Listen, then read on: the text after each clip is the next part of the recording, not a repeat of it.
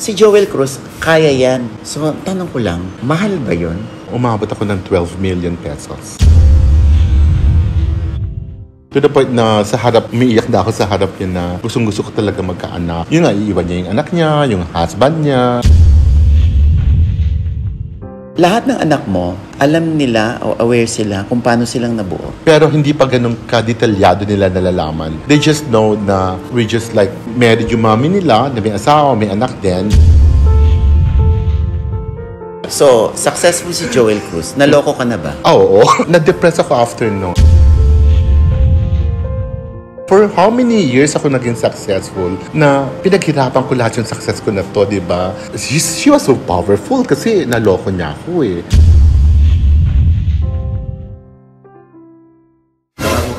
Mag-usap ni Maring Joel ko, dito muna tayo sa kanyang bagong proyekto at ako yung aficionado.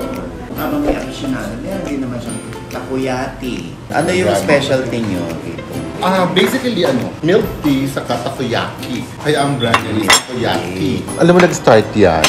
Alam mo yung aking pamangkin, naggagawa ng milk tea. And then? Tapos ng aking sister-in-law, gumagawa ng takoyaki. Diyan lang sila ako sa may garahe. O tapos? During pandemic. Tapos, nakikita ko sila from 1 to 6 p.m. ng hapon. Sa labas lang. Diyan lang, oh, silang dalawa. Tapos sabi ko, magkano naman benta nyo dyan? Sabi ko gano'n. Oo. Nakakaano daw sila, 15,000, 18 to 20,000 a day. Sabi ko, ha? Sabi ko, pwede ng negosyo yan kung ganyang kalaking business sa isang araw. Saka ilang oras lang kayo, 5 hours lang.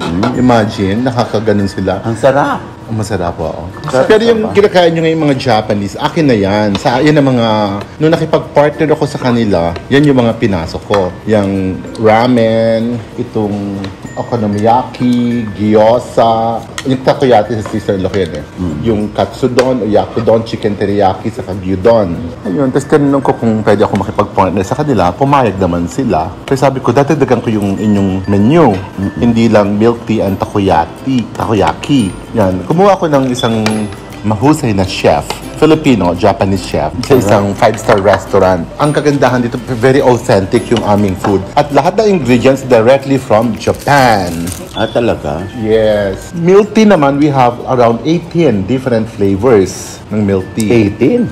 Yeah. Tapos gusto mong palagay ng extra cream, extra na pearl. Masarap siya.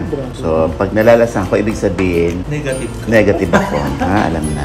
Kaya marami nag-franchise. January 23. Mm. Kasi bago sila mag-franchise, bibili muna sila. Makain sila. Parang ganyan kayo.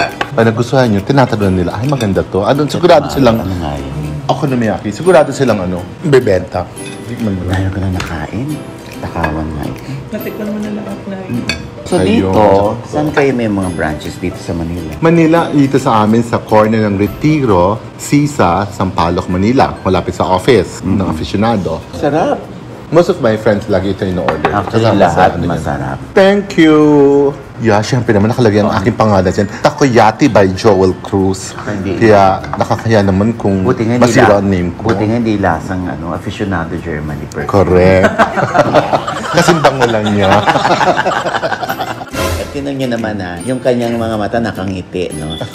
Karoon ka ng sarili mong anak. Gusto ko talaga magkaroon ng anak kasi mahilig ako sa anak. Pero hindi ka nag nakaisip na mag-adapt. Alam mo, okay ang adoption, pero ayoko talaga ng adoption eh. Gusto ko sarili kong anak. Kaya pinilit ko na, pero hindi ko na magkaya ng may babae. na sinasabi mo sa akin dati, di ba? Kung alam mo pa yung mga binubulong mo sa akin, di ba? Lahat, natatandaan ko lahat yun baka. Hindi, nung ano, di ba? Nung binyag ng Binyag. inaanak mo, di ba? Ng anak ko. Sabi mo sa akin, gusto ko rin magkaroon ng anak. Oo. That was 13 years ago. Mm-mm. Tapos sabi ko oo, tsaka sa babae, no, yun yatang hindi ko kayang gawin. Oo. yung makipagsiping sa babae. Oo. Tapos sinasabi Pero mo sa akin na- na-inspire ka. Oo, na-inspire sa ako akin, doon. di ba? Na marami anak ka, yung ganon. Ang pagkakaiba lang natin, ikaw kaya mo, ako hindi ko kaya. Kaya naghanap ako ng surrogacy, ganon. Hindi naging successful sa Philippines. Yung surrogacy. Illegal. Ginawa namin dito. Aside from illegal, we did try, unfortunately, for three trials, tatlong surrogate Filipina mothers, lahat yun unsuccessful. Hindi kumapit sa kanila for two weeks or 15 days. Kinalagay sa kanila. Doon na yun sa ibang bansa? Dito, sa Philippines ah, dito. yun. Ah, dito mo una-unang tinry? Yeah, mga 25 years ago, Singaporean doctor, ginawa dito. Hindi lahat kumapit eh. Kaya nung mga 10 years ago, nag-decide na ako na sabi ko, wag na natin gawin sa Philippines, baka ayaw, di, ayaw yata dito, saka nga bawal dito.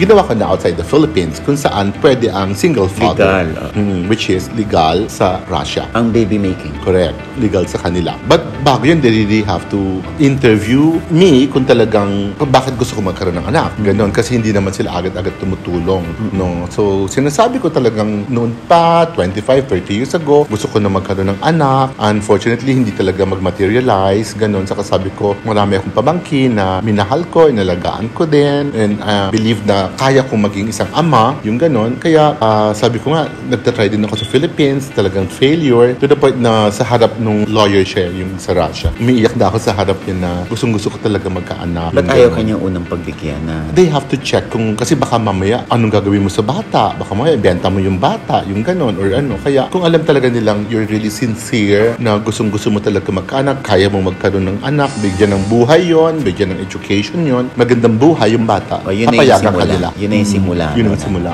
Okay. Yung paano mo na-meet yung mami ng mga bata? Na-meet ko na siya, una bago, bago ko siya napili, yung mami ng mga bata, maraming pictures. Tapos nandun yung history ng mga egg donors, no? Kung anong background nila, age nila, yung character nila, personality, medical history, yung ganon. Kasi mahirap din puma- pumasa sa kanila eh. Kailangan may anak na sila.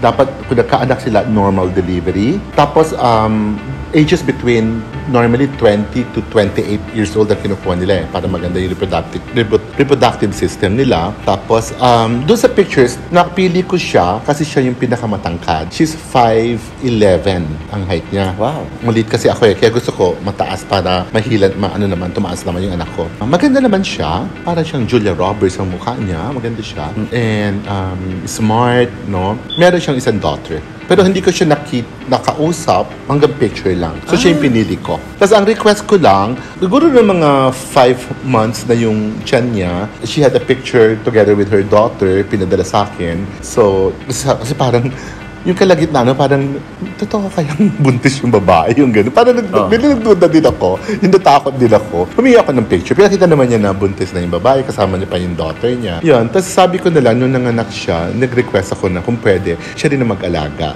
yung mommy. Her name is Lelia. Nung first few days? Mm-mm. For almost five weeks. Ah, okay. Mm, siya nag-alaga. Kahit na yung second set, um, kanya rin yung egg cells din eh, pero iba na yung nagdadala. Ah, yung first kambal, Oo. kanya. Yung sumunod na, kanya yung egg, tsaka Oo. yung sperm mo, Oo. sa iba Mm-mm. inilagay. Sa iba nilagay kasi nalalagdag na sa kanya. Hindi na kumakapit sa kanya. Kasi that time maybe she was ano na 31, 32 years old. Oo, parang ayaw na kumapit sa kanya. Ayun, so ayun na na ano din sa kanya.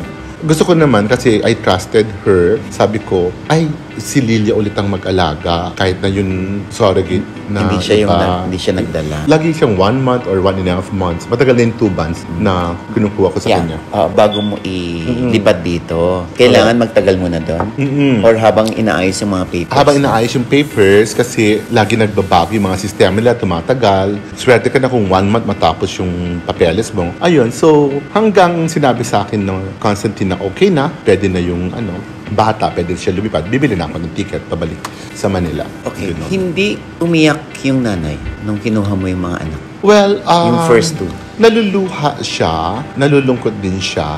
Kasi naman, hindi lang naman ako yung client niya. Bago ako, meron siyang French couple na naging client. Tapos second client niya ako, kila Prince and Princess, yung panganay. After nun, nag-client siya ulit ng European din. Tapos nun, sa akin na, pero hindi na, hindi na nga kumakapit. Yeah, yeah. When you say client niya, egg din niya. I believe hindi niya egg yung sa doon sa first French couple. Oh, so, pa- Surrogate siya doon. surrogate. Oo. Alam mo, maganda kasing relationship namin ni Lilia. I am really very, very thankful sa kanya kasi sa kanya lahat ng egg cells. Kumbaga siya yung Lahat. mother. Oo. Ng lahat ng anak mo, no? Mhm. Tapos siya nag-aalaga. So nakita ko paano siya mag-alaga talaga. Mm. So every time manganganak, request ko siya. Considering she lives like 11 or 12 hours by train away from Moscow. Oo. So Ah. Babiyahe pa siya ng ganon. Papasundo ko talaga. Yun nga, iiwan niya yung anak niya, yung husband niya, yung ganon kasi mag-aalaga siya. And doon lagi yung willingness niya. Okay, so si Joel Cruz, kaya yan. Yung iba, gustuhin man nila na gawin yung ginagawa mo. Hindi nila kaya kasi syempre, financially, hindi sila capable. So, tanong ko lang, mahal ba yun? Well, yung unang set ko, kila Prince and Princess, lahat-lahat no, ng gastos ko kasama yung aeroplano, hotel accommodation ko doon, lahat ng mga test, no, umabot ako ng 12 million pesos doon sa first set. Eh, nag-business class pa ako na upuan. Siguro pwede ka naman bumaba doon kung mag-economy class ka. 12, kasama na di- lahat-lahat nung ano, I mean, pati, yung- kay Lilia. Yung kay Lilia. Oo, yun. Saka inaabutan ko rin si Lilia. Kumbaga, personally, may personal money, Ah, binibigyan oo. ko siya. Mm-mm. Siyempre, may bayad siya dun sa sa firm, no? So, yung pangalawa mo, inabot. Siyempre, pataas Alam yan. ko, medyo mas less dun eh. Ah. Dun sa pangalawa, hindi siya umabot ng 12 naman Pati yung eh. dalawang kam- yung Oo, isa kambal na kambal. Okay. lalaki pareho. Parang 11 lang million siya eh. Yung sa pangalawa eh. Nilalang lang lang ni Hindi, di, Joel. ganun pero ko lang sa 12 million. Kasi siguro mas marami akong biyahe nung ano eh, nitong first eh. Kasi nung first, ang hirap, ang daming problema namin eh. Ah, umiiyak na nga ako sa Russia kasi gusto ko sa inuwi siya, pakita ko sa nanay ko. To the point na abutan kami ng, mag expire ng visa namin. Oh my so, God. uwi kami ng Pilipinas. Ganon. So, Diyos ko, gastos naman. Saka ang layo-layo. Yung ganon. Saka yung uuwi ako na, ang lungkot-lungkot ko na hindi ko kasama, hindi ko na uwi na yung anak ko. Yung gusto-gusto ko na iuwi. Ang daming papeles, pero wala, wala kang choice. Susunod ka sa kanila. Hindi mo talaga mailalabas doon.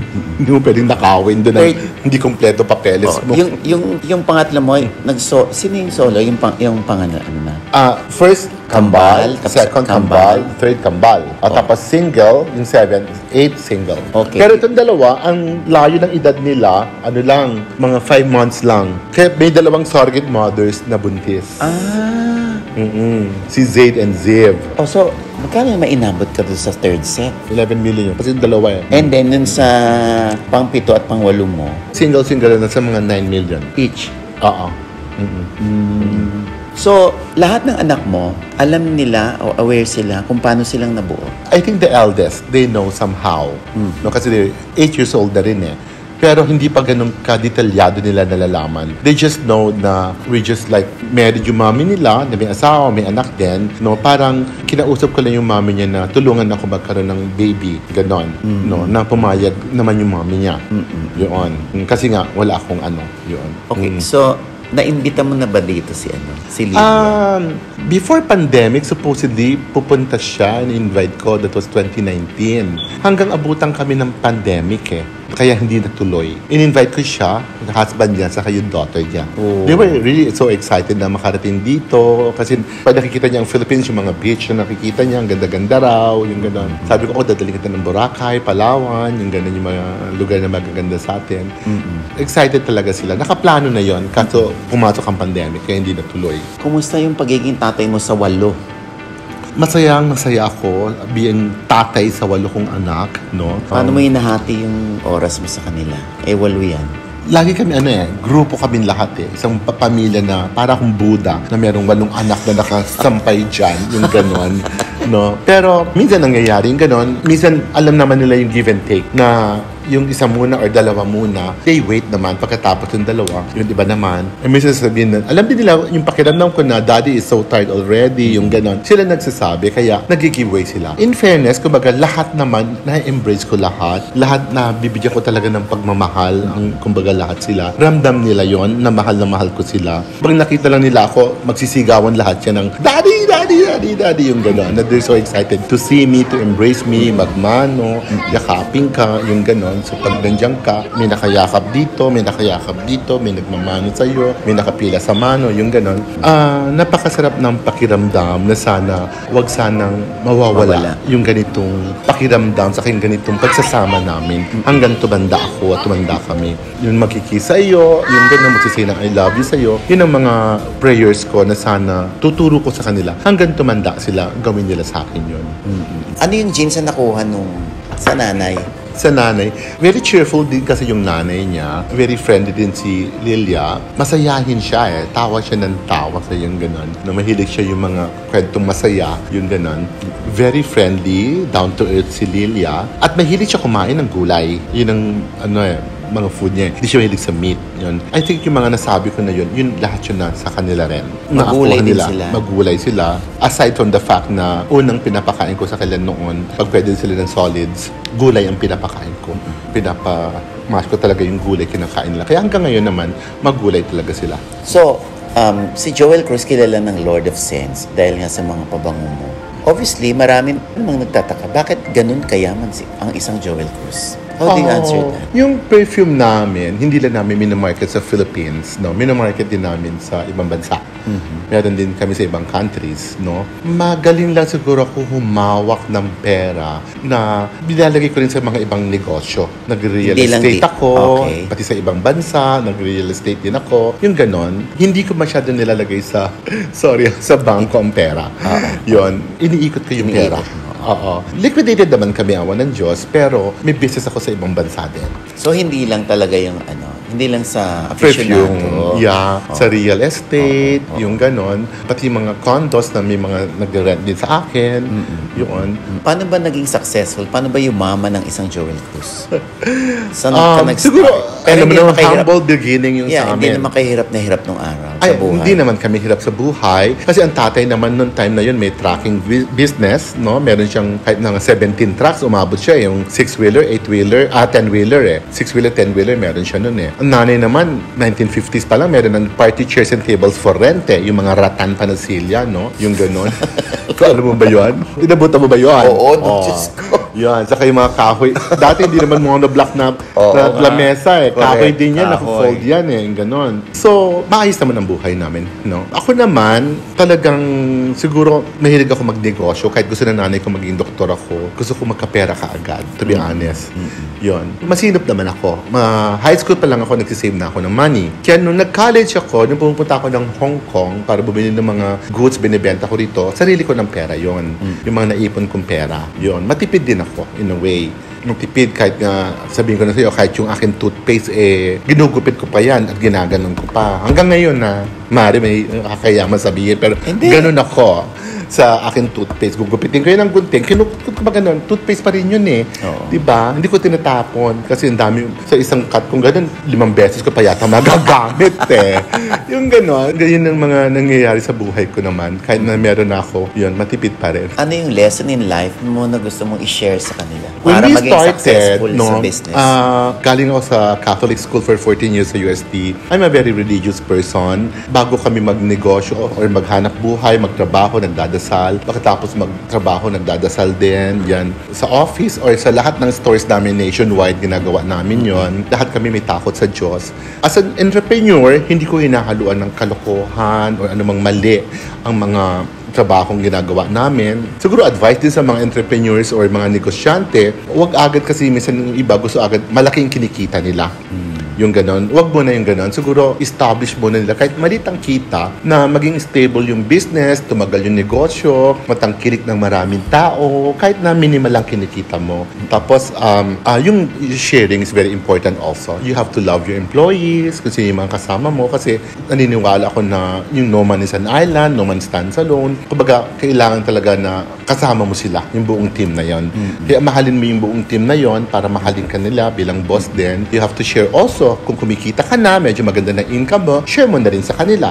Yung ganon. Maraming ways para may ano ka, i-share may sa profit kanila. sharing ka. Meron. Until now, may profit sharing ako whether sa aficionado or sa takoyati, yung ganon. May profit sharing din kayo. Para talagang, ano, alam nilang may incentive sila in the future. Hindi ko sila papabayaan. And yung totoo ka, dapat. Ganun, totoo ka na sinabi mo ano, paninindigan mo yon Huwag mo silang etching in. So, successful si Joel Cruz. Naloko ka na ba? Ah, Oo. Ang pinaka hindi ata magandang topic. Ang naloko ako. Oh my God. In what way ka naloko? Nagtiwala ako. Pero yung Sa pagtitiwala mm, sa pera, saka sa relationship ng kaibigan, ganon, na akala mo, kaya pala ginagawa sa iyo yun. Parang pinapahain ka lang. Lahat ng mga papakita sa iyo. Ah, yung ganon. Kasi- Pinapainan. Pinapainan ba? Sorry ang term, sorry ah. Tapos, kala mo naman, totoo, magandang relationship nyo, rapport nyo, yung ganun, communication nyo. Pero pagka nauto ka na, akala mo totoo yung mga nangyayari, mag-invest ka daw sa kanya, yung pera mo eh may interest daw na 8%, kanya daw yung 2%, akin yung 6%, yung ganon. Noong una, for 3 months, binibigyan niya interest. Kahit 1 million lang, ang laki nung 6%. Nadama ka na, napadama. Dama, yun, pinadama ka. Yun, for three months. Ka fourth month, kail- kailangan ko ng pera nun. Kasi pwede naman niya ibalik yung pera ko eh, na invest eh. Ayaw na magbalik. That was November. From December 1 to December 31, natatandaan, natatandaan ko yun. Inaaraw-araw ko siya tinitext, tinatawagan. Balik mo naman kahit 10 million sa pera ko kasi nasa 50 million na yung pera nasa kanya eh. 50. 5-0, oo. Nawala ang 40 million. Naibigay sa yung 10 million. o medyo nabalik niya naman. Yung 10, yung 40 ang pina- Wala binigay na. mo na sa kanya. Mm, Nasa kanya na. Oh my God. So, ano natutunan mo doon? Oh. Hindi ka napapasok sa ganun. Ayoko na. Oo, mahirap talaga na... Siguro share ko na rin na kala natin lahat ng taong nakikilala natin ay totoo, di ba? Yung Pagkakatiwalaan. Oo. Para tayo nag-aaral ng kolehiyo, no? Oo nga eh. Para lang matuto. Oo nga, my God. Diyos ko. Huwag ka Siguro, mag- huwag ka mag- dadamayan kita. Ako rin ganyan. Anong nangyari din sa'yo? Ang hirap ano? Pero hindi sa kanya. Yung tao na yan, inilapit sa akin yan. Nung marinig ko yung pangalan mo, sabi ko, Yeah, Eh, eh. mahirap. Kaya la- malaking lesson na talaga yon sa Ah. buhay ko. Na ano. Kaya na- I'm very, very careful. Yung ganon. Na- Alam mo, na-depress ako after nun. really? Mm-mm. Kasi parang sabi ko, for how many years ako naging successful na pinaghirapan ko lahat yung success ko na to, di ba? Tapos isang tao lang palang gaganon sa akin na parang sisirain ako sa isang bagay na yung narating ko, parang na-depress ako parang she, she was so powerful kasi naloko niya ako eh. Yung ganun. Pero sa business ko, siguro dahil malinis ako maghanap buhay, maayos yung negosyo ko, di ba? Kumikita. Pero sa sandaling ganun, nawala ang 40 million. Ayun, kikitain mo naman din. yeah, yan, totoo di ba? naman din yun. Oo. Yun. So, ano pang pangarap ng isang Joel Cruz? Well, um, sa ngayon, kasi wala na ang anak ko, medyo sa kanila ako nakafocus din sa mga anak ko. Aside from my employees, na siyempre, inaalalayan ko yan dahil pandemic, kailangan lahat may hanap buhay. Ang mga pangarap ko pa, una sa anak ko, gusto ko sana maging successful din sila, kagaya ng daddy nila, makapag-inspire din sila ng ibang tao na kinukwento ko sa kanila na humahanga ang mga ibang tao sa akin kahit hindi ako straight na lalaki. Yung ganon, sana ganon din sila, pag lumaki sila, makapag-inspire din sila ng ibang tao. Ay, baka naman yung mga anak mo lalaki, gusto rin nila, ano, Gay? surrogacy. Ah, surrogacy? yung isa ayaw. Yung, pang- yung panganay ko. Ayaw, mag, ayaw mag-family. Pero tingin ko ngayon lang yun kasi bata pa siya. Pero sinasabi niya na yun. Pero hindi mo na-try talaga, no? ano, never. Yung babae. Na never. never. Dahil ayaw. Diyos ko, kung na-try ko, din, hindi sana ako gumastos. May savings na sana ako, di ba? hindi ko kaya talaga. Sinabi ko na sa iyo noon pa. At alam ko, ikaw kaya mo. Sinabi mo sa akin. Oo, sabi, pinipilit mo akong kayanin ko. Sabi ko, kung kaya mo, ikaw na lang. Oh, anyway, thank you, Yun. thank you so much, ah, Joel. Mhm, welcome. Isang Joel Cruz po na successful successful in life, saka sa kanyang family, lalo na sa business, 'di ba? Thank you, thank you. Oh, at sana ay yung ah, mahawaan mo kami ng iyong success. Ooh, very successful ka naman. Buo ka na, may paasawa ka, may anak ka, di ba? Andiyan ang career mo. Diba? And you're so talented and down to earth and so blessed also. Di ba? Din ang Augie Diaz naman. thank you so much, Mm-hmm. Sir Joel Cruz. Thank you, Augie. Thank you, Mari. Thank you. Yeah. What's that? What's that?